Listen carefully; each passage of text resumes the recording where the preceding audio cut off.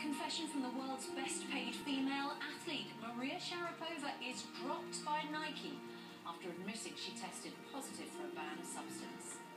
I made a huge mistake, and I I let my fans down. I let the sport down.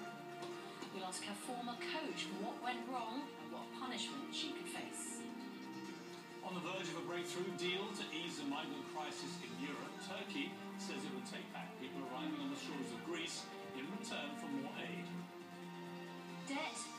and depression. Martin Lewis reveals the impact that mental health problems can have on your finances and opens up about his own dark days.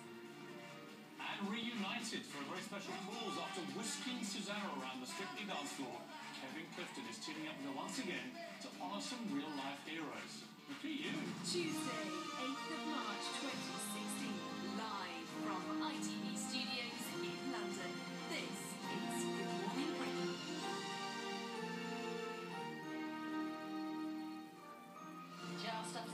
so our main news this morning is that the sportswear giant Nike has